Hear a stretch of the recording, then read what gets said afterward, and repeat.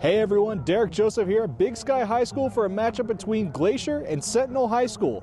Both teams are looking to end their seasons on a high note going into the playoffs, so let's see who was successful. It was the Spartans that got things started early when Jace Kashaka hit Sam Sermon for this deep touchdown to make it 7-0 early.